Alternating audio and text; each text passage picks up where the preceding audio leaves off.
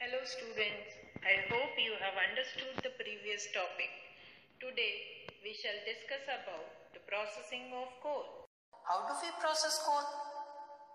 We cannot simply burn coal to obtain useful substances. When we burn coal directly, we obtain only heat, ash and carbon dioxide.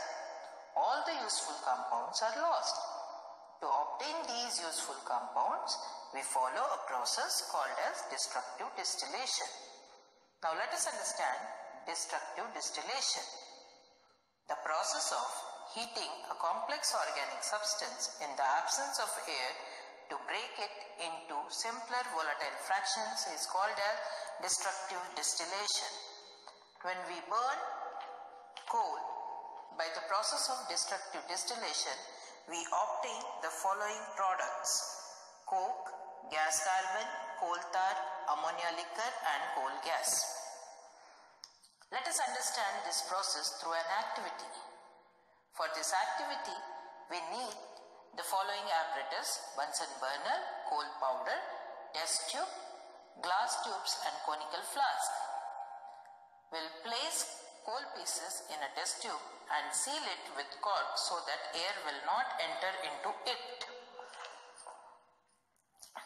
The powdered coal will be heated strongly till it changes into coke, a grey porous residue.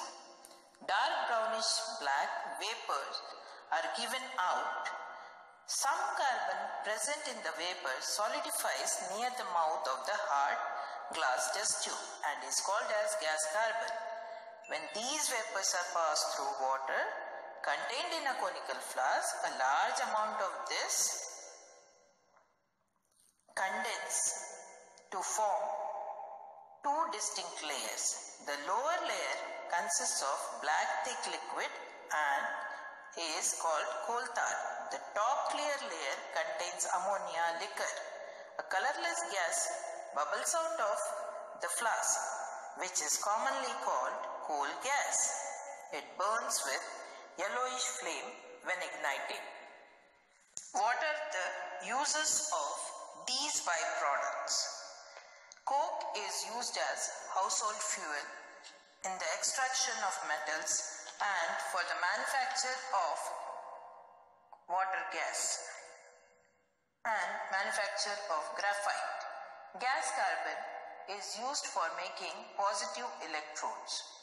Coal tar can be used to get several products such as benzene, toluene, anthracene, phenol, etc.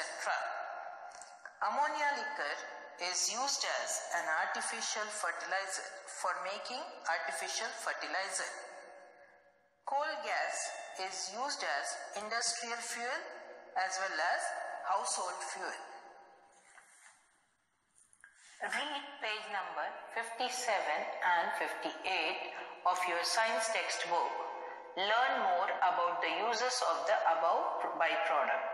Solve the answers of the assignment in the chemistry copy.